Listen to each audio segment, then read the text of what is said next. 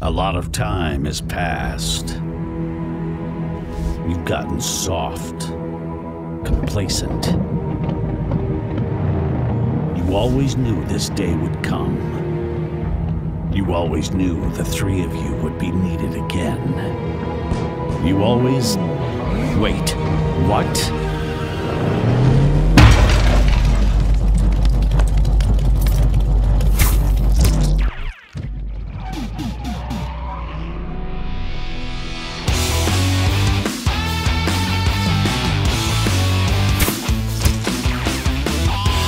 A brand new game featuring body morphing genre mashups, three player couch co op, 4K hand drawn 2.5D graphics, and broad non specific feature declarations.